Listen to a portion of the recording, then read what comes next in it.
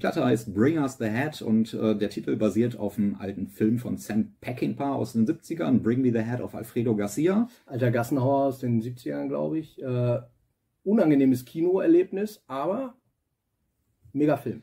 Ja, das Konzept des Albums sind Filme und wir dachten uns, wenn wir schon beim Thema Filme sind, dann bringen wir doch im Titel des Albums auch einen Film unter.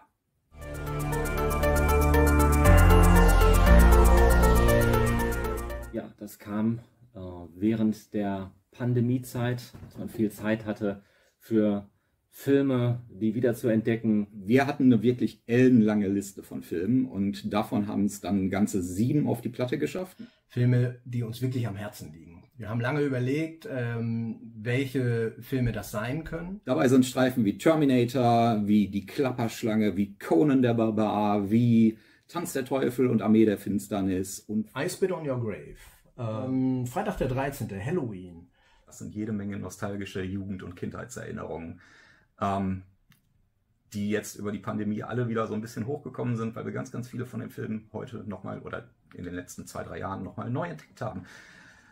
Die Seuche ging um, wir saßen alle zu Hause, es gab die schönen Streaming-Möglichkeiten und wir haben uns da so von oben nach unten einmal quer durchgeguckt. Und daraus kam die Idee, äh, wenn man sich so viel mit Filmen beschäftigt, machen wir doch ein Konzeptalbum, in dem jeder Song thematisch einen dieser Filme äh, behandelt.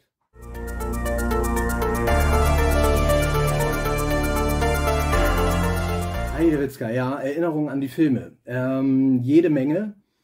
Oh, ich habe eine ganze Menge Erinnerungen an die Filme. Ähm, eine zum Beispiel, also ich habe die Filme relativ früh äh, zu sehen bekommen. Das ist einfach so, wenn man einen älteren Cousin in der Familie hat, eine ältere Schwester, die einem dann durchaus äh, ein paar Filme, die noch nicht so unbedingt jugendfrei sind, rein vom Gewaltgrad äh, her, äh, dann hat man da schon mal leichter die Möglichkeit ranzukommen und die auch mal mitzugucken.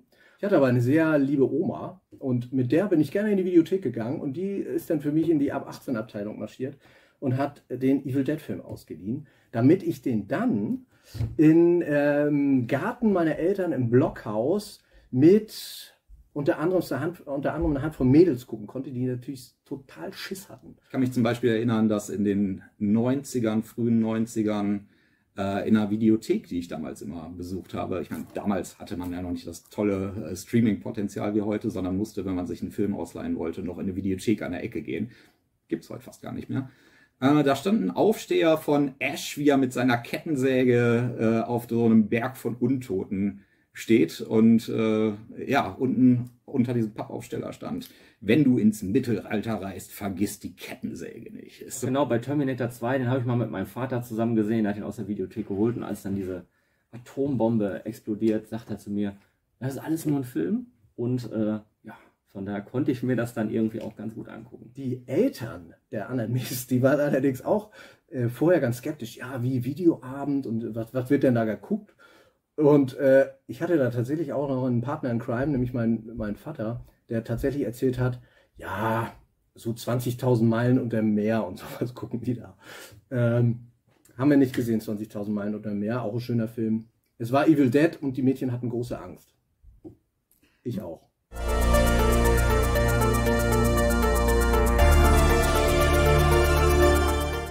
Wenn nicht die Filme und Heavy Metal, was denn dann? Was ist denn mehr Heavy Metal als Arnold Schwarzenegger, der mit einem Schwert irgendwelchen Schlangenmenschen die Rübe absäbelt? Oder Snake Plissken, der in New York in einer Arena äh, steigt und da um Leben und Tod kämpft?